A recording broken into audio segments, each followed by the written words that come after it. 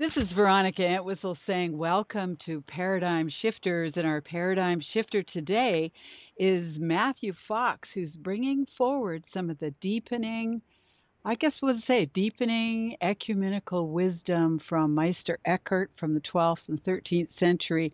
And Matthew Fox, once a Dominican priest, but actually seems quite proud of having been uh, doffed of your cloth, I think uh, I would say, and moved on to being an Episcopalian priest, but is making huge, huge inroads in people's spiritual consciousness to help empower our species. So that was a long preamble, but welcome so much to our show, Paradigm Shifters, Matthew Fox.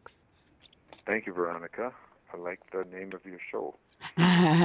well, you're certainly one of those, aren't you?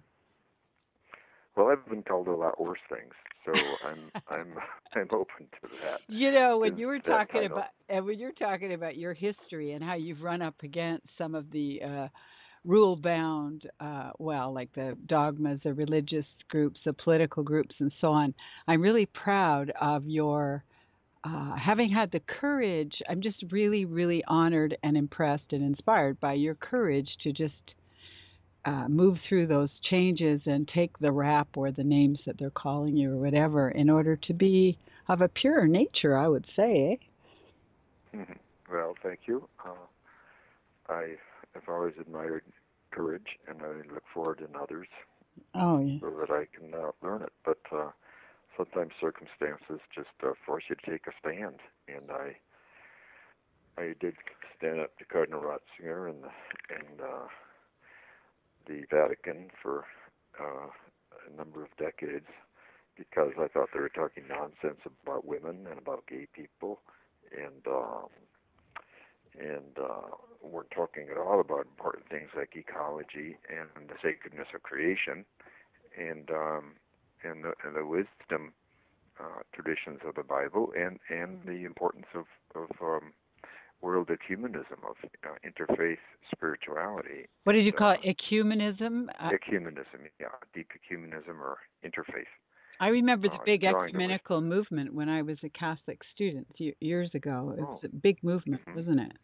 Right, absolutely. And of course, liberation theology in Latin America, which those two popes uh, purposefully uh, destroyed. One one missionary priest I talked to recently says he he thinks Pope John Paul II murdered 10,000 people in Latin America. Wow. Because yeah, because of their stand against liberation theology in base communities, it got a lot of people killed. And uh, um, talk about the Crusades, huh? Well, exactly. But anyway, this new pope is different. Thank yeah. heavens. Yeah, he but, seems like he's got a lot of possibility, but be, the political machine being what it is, we're all kind of going, okay. Yeah, right. Good luck. Good luck with that. well, he needs all the prayers he can get. But your exactly. latest, your latest book. Before we go too far in, I wanted to mention the name of your latest book called Meister Eckhart, a mystic war, warrior for our times. Not warrior, warrior, right? exactly. Yeah, very different. Uh-huh. And uh, and the mystic well, I'll, I'll, let you talk about it, but one of the things I really, really have loved so far in this book is um, the depth. Eh, when you call it ecum, ecumen, is that what you call it? Mm-hmm. Ecumenism. But, yeah, and that's the depth of the uh, what the common threads of of beingness that run through mm-hmm. every religion, every political thing, exactly. if we allow it. How did you get into all this anyway? How did you get into Meister Eckhart from from being a Dominican priest? Well, Eckhart was a Dominican, although he was condemned by the Pope in his day a week after he died in the fourth, early 14th century. Wow. And um, uh, but um, he followed right on Thomas Aquinas, who was a Dominican brother of his. He was 17 years old when Aquinas died, and he was 13 years old when Rumi died. Oh, really? So, uh, yeah, so he was very much a part of that era of great uh, mysticism and and um, science. Really, they were very interested. Aquinas certainly was in cosmology and how the how nature worked. Aquinas, of course, borrowed from Aristotle, who was the best scientist that medieval ages came up with, and um, uh, all that inspired uh, Eckhart very much. But in all my training, 14 years training as a Dominican, I never heard Eckhart's name used once because he was condemned. But I really found him through Coomaraswamy, the Hindu writer who wrote a great book on nature and art in, in the 1930s. He wrote it, and uh, his old chapter on Eckhart, and um, and I quote from that chapter in this book. And um, Coomaraswamy says that reading Eckhart is like reading the Upanishads and uh, and that his his words often sound like a, a straight translation from the Sanskrit. He says, mm-hmm. so that's tremendous uh, praise coming from a Hindu. Coomaraswamy was a Hindu, and um, that's what's so amazing about Eckhart, as you said, he goes so deep uh, into his own soul and his own tradition that um, he joins the what I call the underground river of common wisdom in um, my book, I think this new book on Eckhart. This is my third book on Eckhart. I wrote two books previously, but over 30 years ago, mm. and I've taught probably thousands of students uh, Eckhart over the years, and I've seen the tremendous impact he has on people's lives. But um, well, let me interrupt you just for a sec. That I'm a long-term student of metaphysics and haven't read it, but reading this book, I'm going. Mm-hmm. My life is changing as I read it. Mm-hmm. Oh, how exciting! Yeah, Glad to hear that. Well, I'm also a mystic, you know, and he talks. Right. Well, you talk, you and he talks a lot about that deep sure. value, you know, in a way I haven't Absolutely. thought about. I mean, he's he's he's one of the greatest of the Westerners, and we hardly know him again because he was condemned, and that's why he's. I think he's really. um This is his time. His time has come. I think the 21st century we can begin to grasp the depth of what he's about and the ecumenism, the interfaith, because as you know from seeing the table of contents of the book, I put him in the room with Rabbi Heschel, mm-hmm. great Jewish theologian. Mm-hmm. Put him in the room with with uh, Swami and Father Bede Griffiths, two experts at Hinduism. Put him in the room with Thich Nhat Hanh because he's very Buddhist. Um, the great Japanese Buddhist philosopher Suzuki um, told Thomas Merton that Meister Eckhart was the one Zen thinker of the West, and that he should read Eckhart. And the result was that Merton was converted uh, in the year 1960. He spent reading just Eckhart and Zen poetry, and he entirely shifted, and he became much more prophetic um, voice in the 1960s. And then he died at the end of the of the decade um, in the East, where he was traveling, and he kept a journal. And in the margins, he would write, Eckhart is my lifeboat, Eckhart is my lifeboat. So Eckhart was hugely important to Thomas Merton. He was important to um, Suzuki and to Coomaraswamy, I say, who, who said he was, he, it's like reading the Upanishads. And, and indigenous wisdom, too. I put him in the room with Black Elk and a chapter on shamanism mm-hmm. because he has a lot in common with the indigenous tradition as well. And of course, Carl Jung says that he owes Eckhart – Eckhart gave him the key to the unconscious. And Jung quotes Eckhart over 30 times, and he wrote a whole essay on Eckhart and the relativity of God. And um, he says that of all Christian thinkers, Eckhart was the one who gave him life when he when he read him. So Eckhart's um, influence has been immense. But I think what happens, at least for me, when I was reading it, we need to get into the women's part too. Yeah, definitely. Uh, his thing about uh, isness and dropping mm-hmm. through all the God labels that we've gotten mm-hmm. into. All of that mm-hmm. just means so much. It's so mm. empowering to yes. read into that. Um, I'm, I'm I'm glad. I'm so glad you got that from him. Yeah, his wonderful line. I pray God to rid me of God. I think a lot of people have prayed that sentence uh, consciously or unconsciously over the centuries, and um, uh, it opens the door to letting go and letting be, and, and as you say, isness. He says isness is God. So that talks about the radical presence of the divine in all of being, and um, what he would call the cosmic Christ, and what the Buddhists would call the Buddha nature that is present in all things. It's very, very, uh, very, very touching. Also, um, when I was reading, oh, the names are, are new to me, so forgive me that I don't re- quite remember mm-hmm. the names. But there's a woman here, Adrienne Rich. Oh yes. And uh, one of the things that intrigued me, and I think it was weaving through all of them actually, but hers was the most poignant as far as bringing it up, which is if you want to get into your spiritual and into the essence of the isness, I guess, you go through, and I, it was said in more than one place, but you go through things like grief, right? And loss. Yes. And one of them you said, and go to jail. well, definitely. Um, that's what the mystics call the via negativa, the dark night of the soul. And uh, Eckhart says, if you want the kernel, you must break the shell. So there is a, a well, and he talks about breakthrough. In fact, he invented the word breakthrough in German, Durchbruch. Oh, really? And he says, in breakthrough, I learned that God and I are one.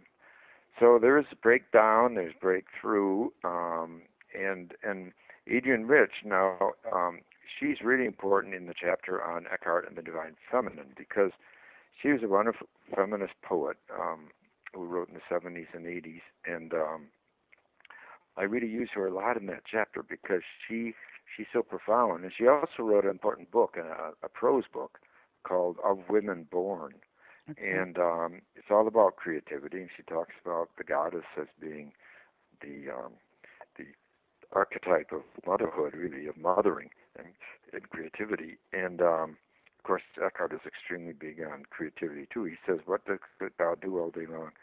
God lies on a maternity bed giving birth." I love So- that. What an image, eh? What an image! Well, And that really makes you the- think. You sit there and think about that. Yeah, wow. Exactly.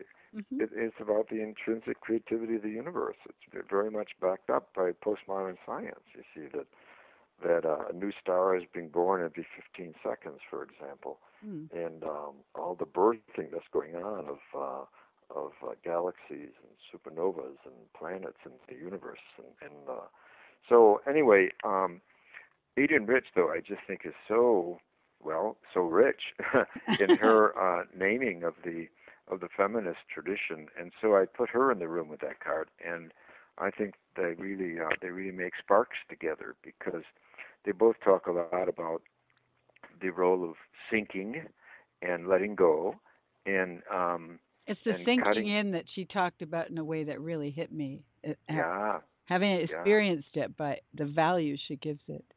exactly. Mm-hmm. And yet Eckhart uses similar language, and um, and they also talk about the darkness and the nothingness, and um, then I also have a chapter on Eckhart and the Beguine movement of his day, which is the women's movement in the Middle Ages, and the Beguines were neither nuns who were cloistered nor married, but they were single women who who lived together in a community, but without the formal vows, and they worked with the poor and the and the young and um, and the sick, and they were artisans. Many of them made their living as weavers and grain, uh, stained glass window makers and so forth. And um, but he was very influenced. Eckhart was by the Beguines, and they by him. And Dorothee Soelle, who's a who died recently, but she was a liberation theologian. Uh, she loved Eckhart, and she said the mystics really deconstruct patriarchy because they get us not to think in terms of hierarchy, but in terms of a circle, a web of life, a web of existence, and that's a whole nother way of envisioning our our presence on the on the planet. And um, I want So I want just for everybody who's listening. Some of you haven't heard the name the Beguines, and it's B E G U I N E S. And uh, and Matthew didn't didn't you write that they went on for like two centuries? oh yeah, they were um, they were uh, very viable for many centuries. Um, the Pope, the same Pope who condemned Eckhart a week after he died, condemned the Beguines 17 different times.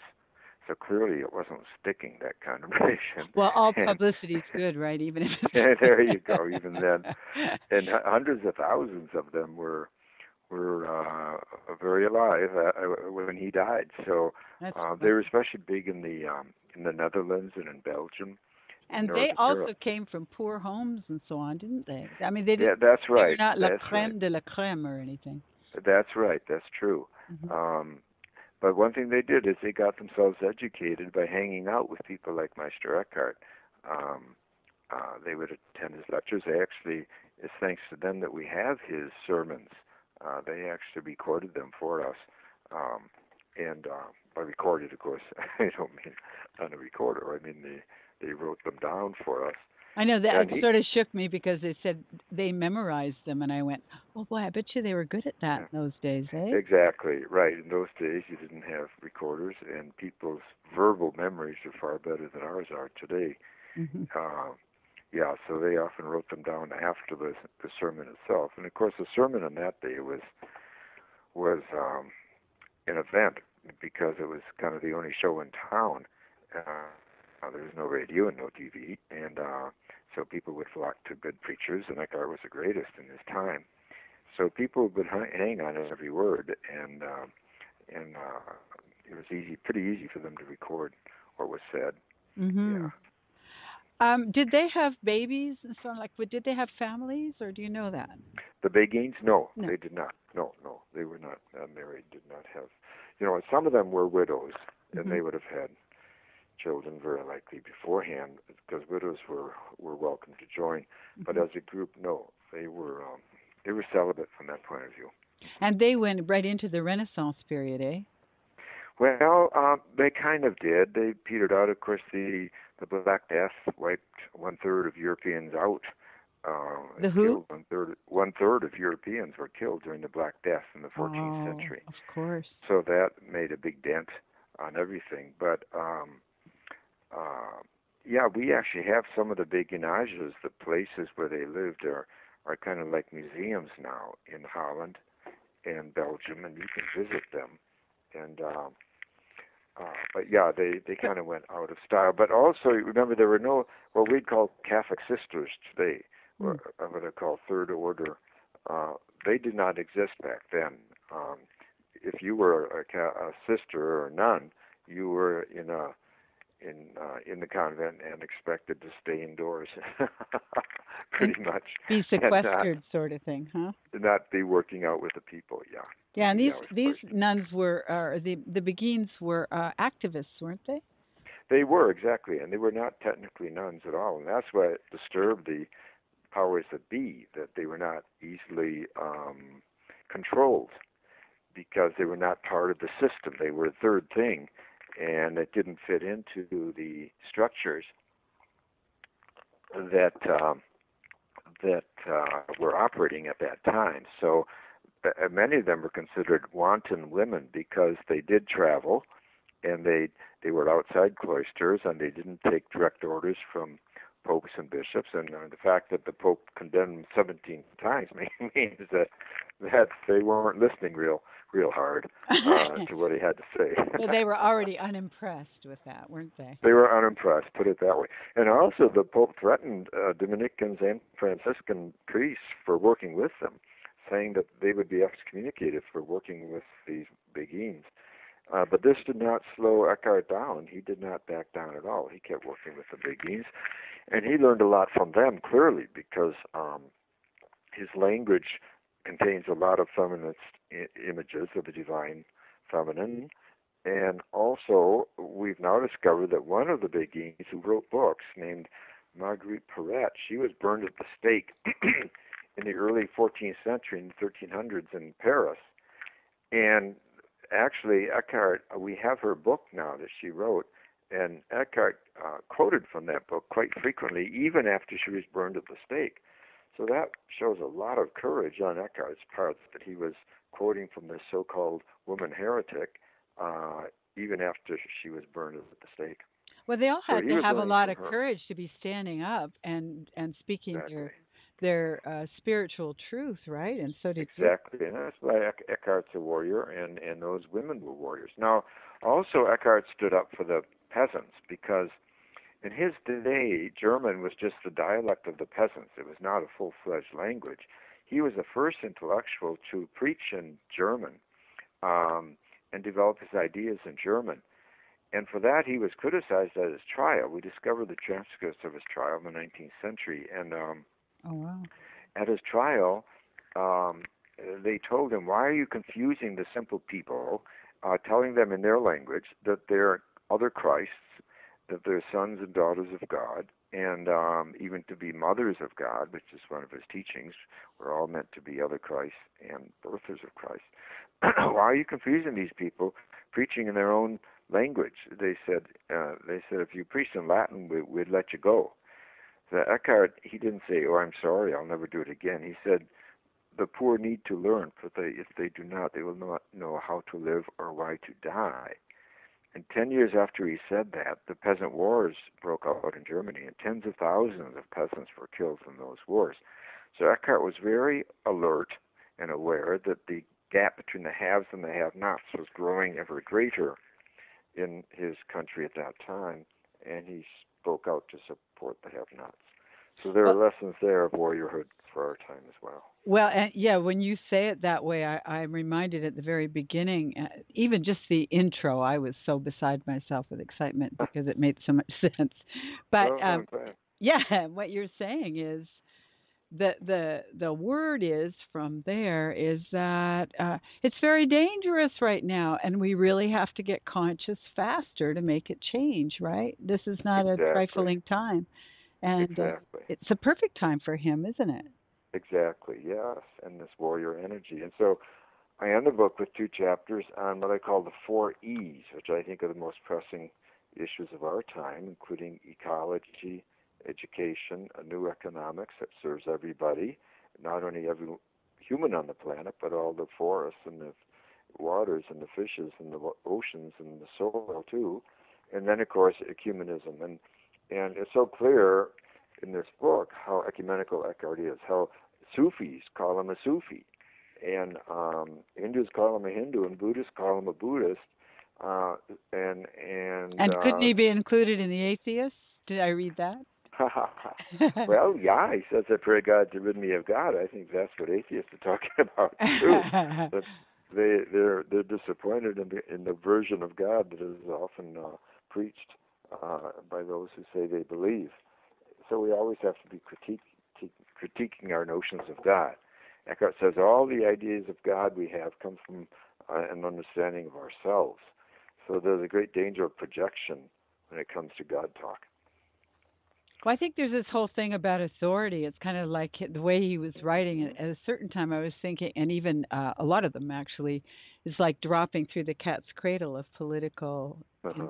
In, in, you know, control or domination or whatever you want to call it, right? That's right. Yeah, sure. Uh, using religion to dominate and to control, and that's why religion so easily goes to bed with fascism because fascism is a, a political construct of control and um, bad religion uh, and the idea of a punitive Father God uh, feeds very much into into those um, those um, efforts to to make it an idol of control.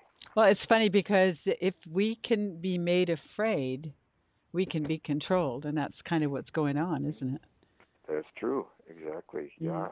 yeah. And love is the opposite of fear. So you get to choose. You're going to be a lover or you're going to be afraid. And uh, once again, this is where that warrior energy comes in. That uh, uh, we have to stand up for what we believe, and um, and love usually takes to the edge and uh, makes demands of yourself, right? Yes, absolutely, absolutely. I mean, if we really love the earth and future generations, our imaginations would be working overtime to uh, reinvent uh, the footprint that we are, that we're leaving uh, on the earth. Mm. so the imagination would be there if we were in love nearly as much as we claim to be with future generations. I thought it was really interesting talking about imagination. Um, going back to what you already said, which is God is uh, in the birth chamber or in the birth bed, right? mm-hmm. always in a state of creation. And I noticed all the way through that that admiring imagination and admiring creation is, or really, uh, yeah, really honoring that is a really important part of the evolution of our species, isn't it? Mm-hmm. Absolutely, and that's where I think education is failing um, so badly. I, I I've been working for several years now with inner city kids, and uh, the real question is why are so many dropping out of school? Mm-hmm. Uh, 65% of black boys are not graduated from high school today in America.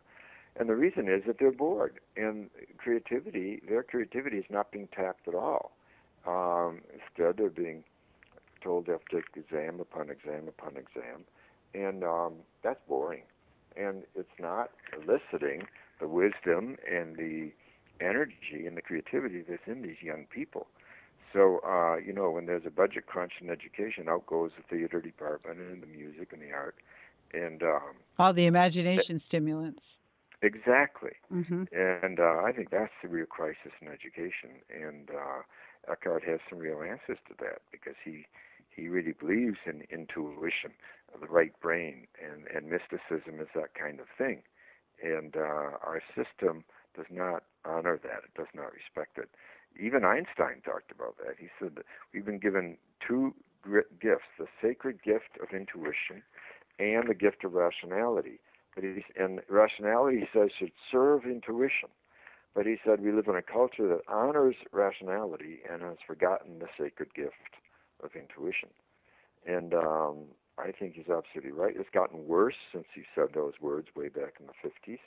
And um, uh, I think that's why someone like Eckhart has so much to say today because the mystic is swimming in intuition. And um, and as that, as uh, Einstein says, values do not come from the intellect. He says uh, values come from intuition and uh, and feeling, which he says are really the same thing.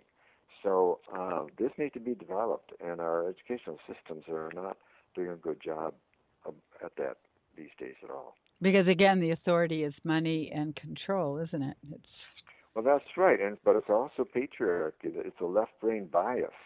The idea that learning is about taking an exam instead of about uh, blossoming and giving birth.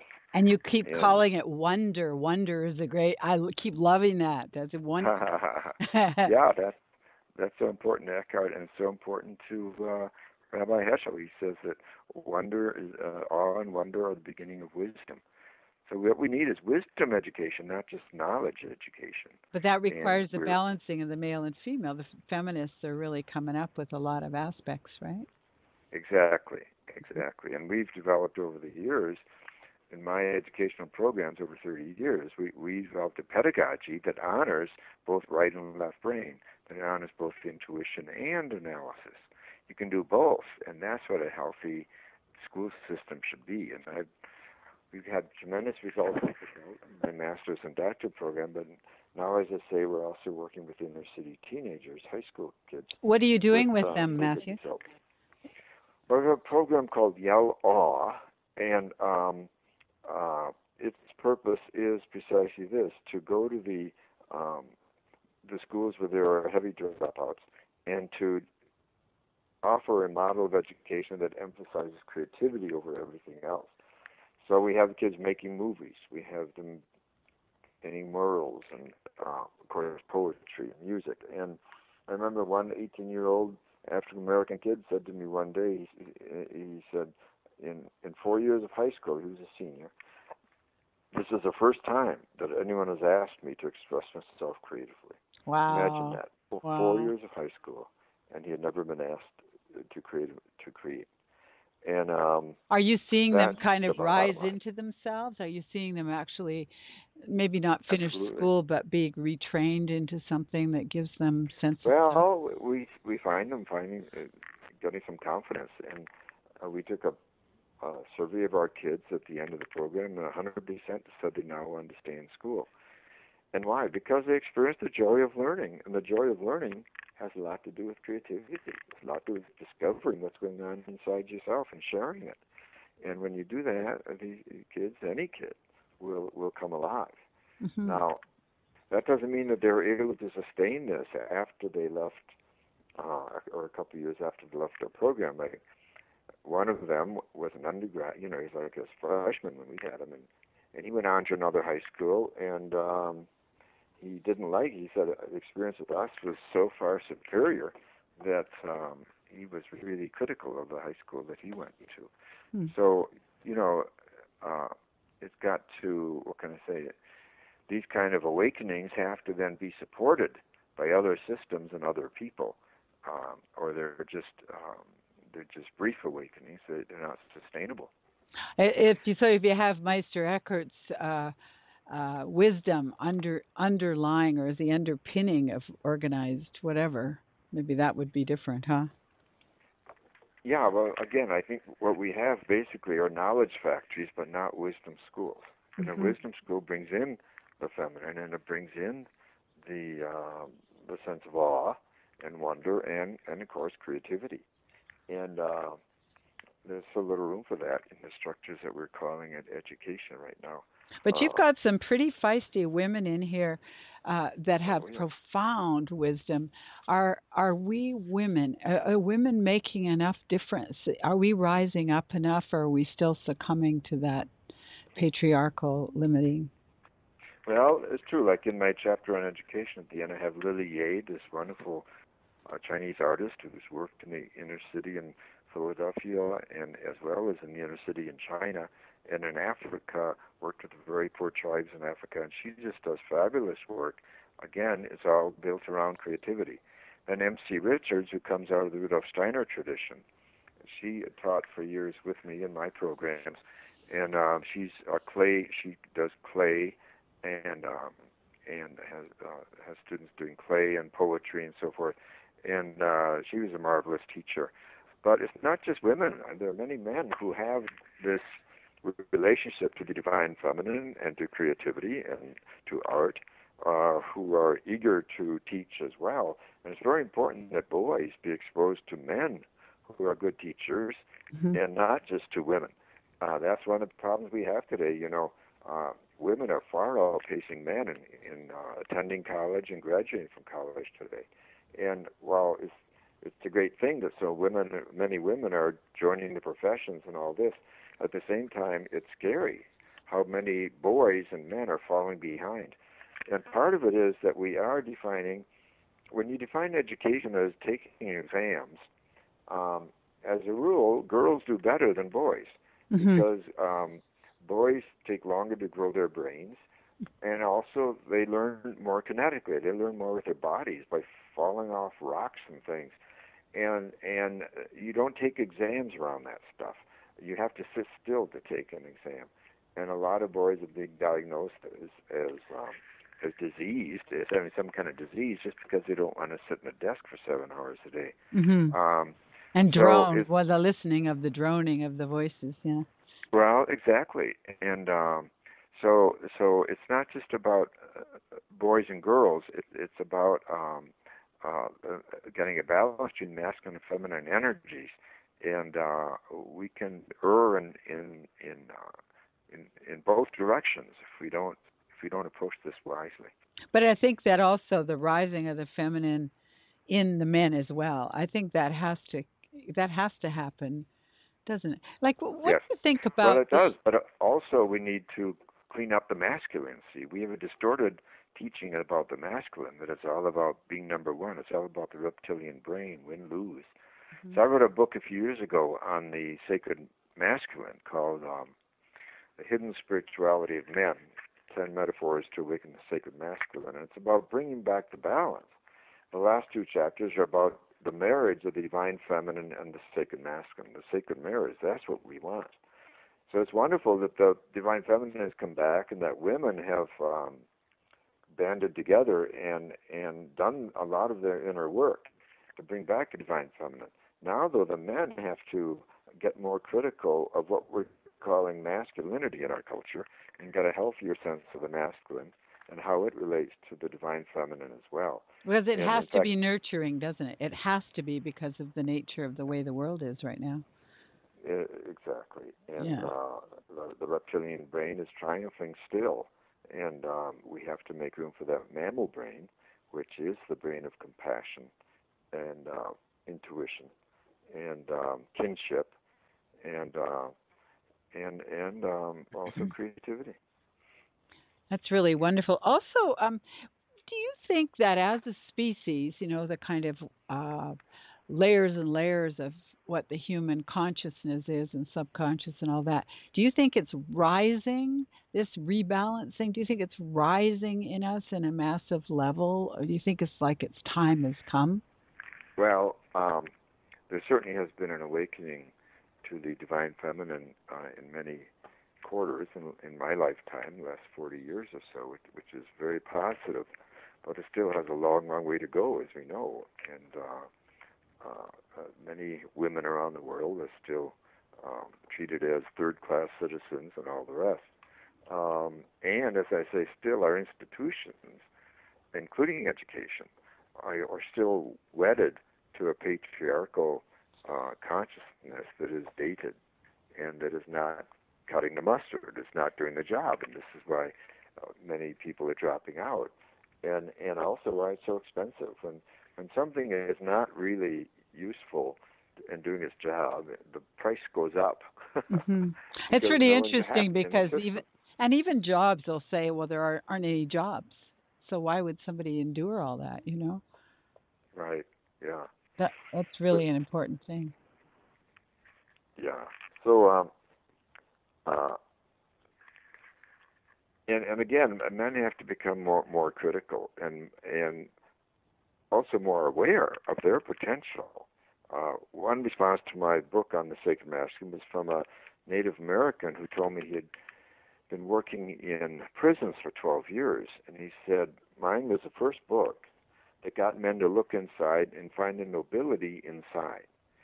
He said um, most men in prison project on others, and they don't want to look inside, mm. and it's very hard to get them to do so. But the method in my book was to take 10 um, archetypes or metaphors of the sacred masculine, such as Father Sky or Green Man or spiritual warrior or hunter gatherer um, or fatherhood or grandfatherhood, the, the elder, and so forth. And so th- that's how the book is divided those chapters. And he said these uh, metaphors really got them looking inside and, and finding the nobility inside. I think that's a powerful, powerful phrase. And that's really key, I think, to to men under patriarchy men too have suffered because they've not found the nobility inside. They've been told to obey, to get in line, to go into the mines and into the factories and into war and to kill, kill others yeah. and kill.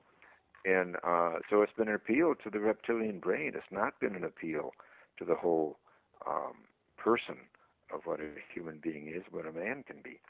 Now, one of the responses I got to the book, the very first one was from a woman. She said, I have over 200 books on the goddess in my library at home, not a single book on the sacred masculine. Wow. And she said, I have, I have two sons. She said, I didn't realize till I read your book how, how much men have suffered under patriarchy. Mm-hmm. Uh, I've been working for 40 years, she said, on, on my womanhood and recovering the divine feminine, and I don't regret any of that. But she said, I, I agree with you now. The next step of feminism is we have to support the men to do more soul searching as well. Mm-hmm. To realize that they can create. Uh, exactly. Wow, because they are very strong and wise. Tell me about creation spirituality. What is that? That's uh, part of your baby, right? Well, yeah, it's the um, alternative tradition uh, within Christianity. It's it's uh, been a, a, unwanted stepson for centuries, but um, it doesn't begin with original sin uh, which is not only bad news and pessimistic, but is also anthropocentric. It begins with creation itself and with original blessing. And of course, this one of my I like that original blessing. Mm-hmm. Yeah, uh, I'm glad you like it. The Pope didn't. That's that really got the Pope riled up. Um, well, that's Pope, a little bit of good publicity right there.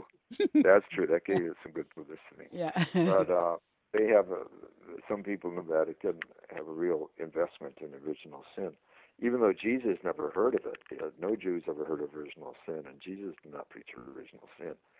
So it's a distortion of of the tradition, and yet it's it's running still of most of the of the of the Christian churches, and um, so anyway, uh, this tradition is feminist because um, the wisdom of Israel from which it comes, uh, wisdom is feminine in, in the Bible.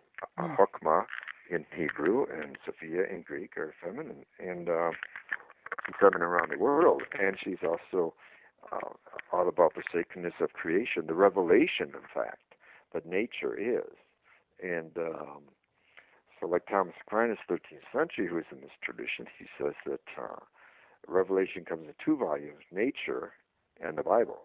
But if we if we say Revelation is only in the Bible, we leave out all of nature, and it also means that we're anti-scientific because scientists are the ones who teach us about nature. So they're, they're, they're therefore they're teaching us about the revelation that nature is if we listen carefully instead of fight them all the time. Um, and of course, Hildegard of Bingen, the great 12th century mystic and reformer and musician and genius, she was very creation centered too. And of course, Meister Eckhart uh, is is a real champion in this regard. Eckhart says uh, he says every creature is a is a, uh, a source of revelation and a book about God. Uh, so he's saying every single creature is the Bible. He says if I spend enough time with a caterpillar, I'd never have to prepare a sermon because one caterpillar is so full of God. So he too comes from this wisdom tradition and from the creation spiritual tradition of the Bible.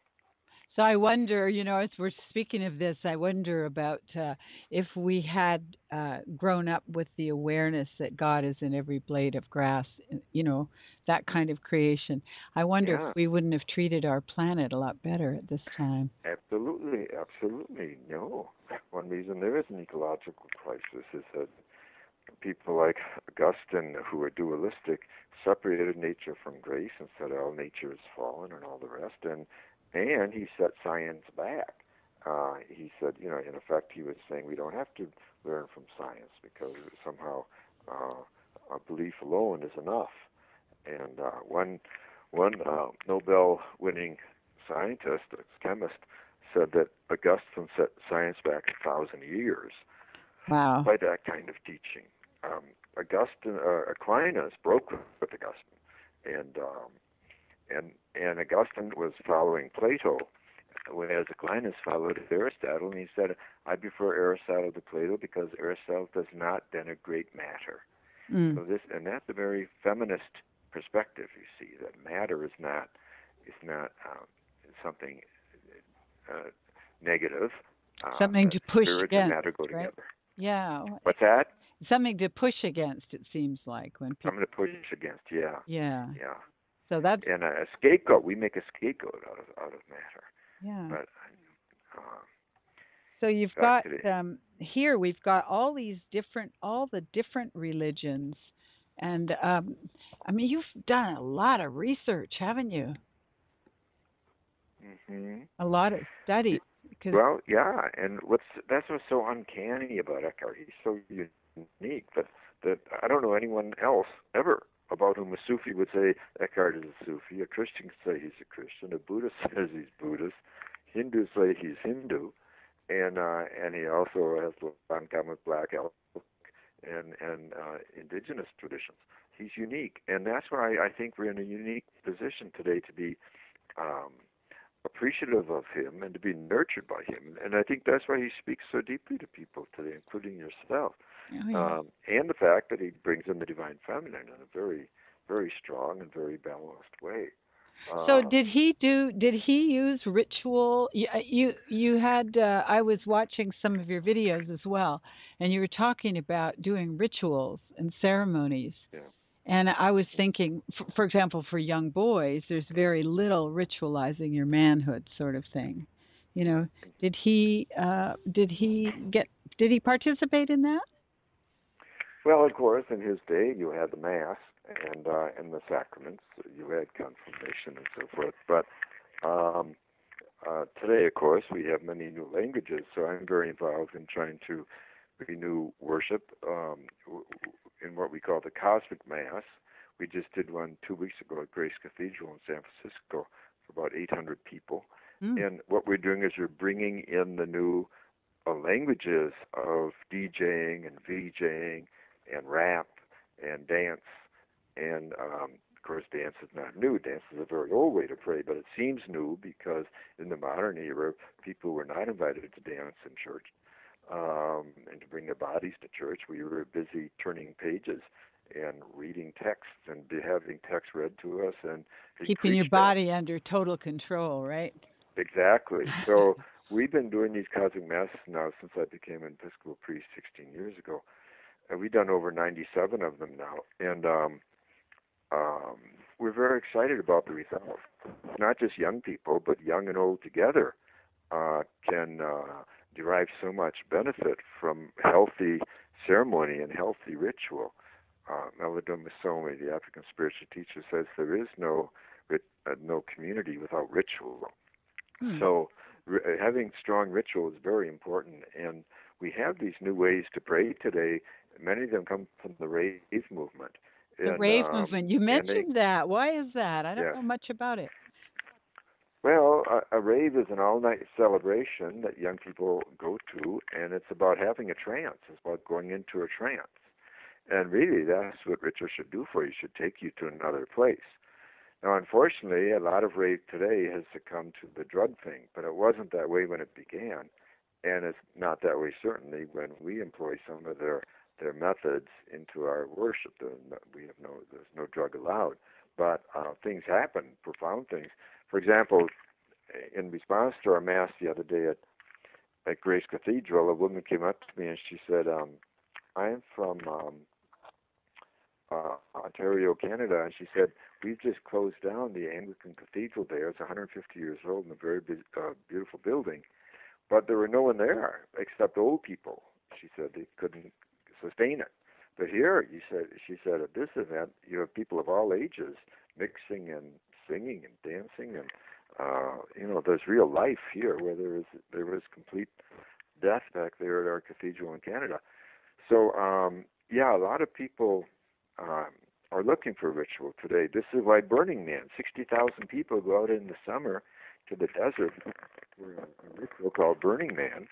Why do they do that? Because ritual is is part of the human condition. We need it for community. We need it for healing. We need it for celebration, for creativity, for joy. Well, for tell me what what kind of music do you use in the cosmic mass? Do you use Well, we use DJs. okay? We use DJs, electronic music a lot, but we also have uh, live music as well. Um, we have sometimes drums and sometimes people singing with a hand drum, shamanistically. Uh, one of our recent masses, we had a a group of uh, native uh, singers singing indigenous songs um, at the beginning and at the end with a big drum. Hmm. Um, uh, uh, we even had a piano at our, our mass at Grace Cathedral, but we also had the DJ doing electronic music. So we combine. It's, it's you know ours are times of mixing, and so we combine different forms of music, um, and chanting, and singers uh, leading us in chant. At our Grace Cathedral mass, this uh, wonderful folk singer Jennifer Berezan led us in several songs, and um, and she also did the teaching for us. So yeah, we we we do a great variety of, of music. Wow, this is this is such great news. Uh, is it Yeah. gonna? Is it a But the actual dance is electronic dance with the DJ. We do that twice for about 18 minutes each time. And do you see people going into big trances themselves? and the end. um, well, we we get You know, that kind people of feedback. seeing For things example, and so on. Well, we have a, a grief part in every one of our cosmonauts. We do grieving, and uh, instead of a confession of sins, we do grieving. And we have a, a practice that we help people to grieve. We get down on all fours and so on. And this is very powerful. And after the last mass, I'd say at least eight people came up to me. Most of them women. One of them was a Native American woman, thanking me just for the grief part alone. They said it was so important and so powerful one woman told me that her husband had died um, several months ago, and that this was finally she felt a breakthrough in her grieving process and so forth. Being able to grieve with others is something she said I've never really done before. So grief is a very important issue today. We're not going to release our creativity, which is our only hope of of um, salvation as a species. Uh, we're not going to release creativity if we can't grieve because when your grief is you're stuck in grief and everyone's grieving today but they don't know what to do about it the Mm-hmm. churches are not helping and not everyone can talk to a therapist and besides talking is not the best way to ge- deal with grief anyway No, um, we need it's gut. It's literally gut wrenching, isn't it? exactly Yeah. you have to exactly you have to unleash this this bottleneck in our third chakras which is as you say the gut hmm hmm Yeah, right it's amazing. so we do that Yeah, because one of the things I read, and I think it was with Adrienne Rich, but she was talking about grief as being, uh, no, she didn't put it this way, but like a portal into your deeper spiritual being, right? yes. Um, yeah, she she addresses grief too, definitely. Oh, that's wonderful. I'm really glad you're doing that. Well, I think we're almost drawing to a close. Where are you? You're in San Francisco area, and you're doing. Uh, you're at Grace Cathedral most of the time, are you? No, no, no, no. I'm, I'm not there very often, but um, no, I, I live in Oakland, Mhm. and which is across the bay from San Francisco. And um, people could go online, MatthewFox.org, and see where I'm speaking. Uh, but I speak in many places. I'm on my way to Korea this weekend in Australia. The Koreans have translated about half a dozen of my books, Wonderful. and uh, never lectured there before. But um, people can find out where I'm at uh, by going to my webpage, and there's a pretty updated schedule there. Also, our next Cosmic Masses. Um, the next one we know we're doing for sure will be in, October here in the in the East Bay. will you? And will you be doing some in Korea as well, and in Australia? No, no, Okay. no, no. I won't be doing a Cosmic Mass. I'll be lecturing. You'll be lecturing, Yeah. and you also give classes sometimes, eh, for creation. Um, Right. Yes, that's true, and we're talking about starting up our doctor ministry program again very soon. So people should uh, stay tuned. Again, you can go to the webpage matthewfox.org, and they can find out what's what's cooking. Well, I am so grateful that you had time for us today, and uh, and bless you for all you're teaching us. And I'm going to get into more Meister Eckhart books, although this one, this one by you is such a, it's really rich, and the people that you're um, bringing together with Meister Eckhart are all worthy of studying as well. I mean, they just open you like a book. Well, I'm I'm I'm glad to hear that, Veronica, and I encourage you and thank you for your having your radio program. It's a great thing to be able to talk about these uh, mysteries at this time in history. is so important that we open ourselves up to some of the wise figures like Eckhart and become mystic warriors ourselves. Yeah, because it occurred to me that these emanations of wisdom that come from them, frequency wise, are really penetrating our culture now. Mhm, Does mhm. that make sense? I hope so. I hope so. We need it. We need it. We Well, need all the help we can get. Thank you Absolutely. Thank you so much for coming on to Paradigm Shifters. Many, many blessings Thank on you, your Ron. trip. Thank you. Bye now. Goodbye. Bye now. Goodbye. Bye now. Goodbye. Bye now. Goodbye. Bye now. Goodbye. Bye now. Goodbye.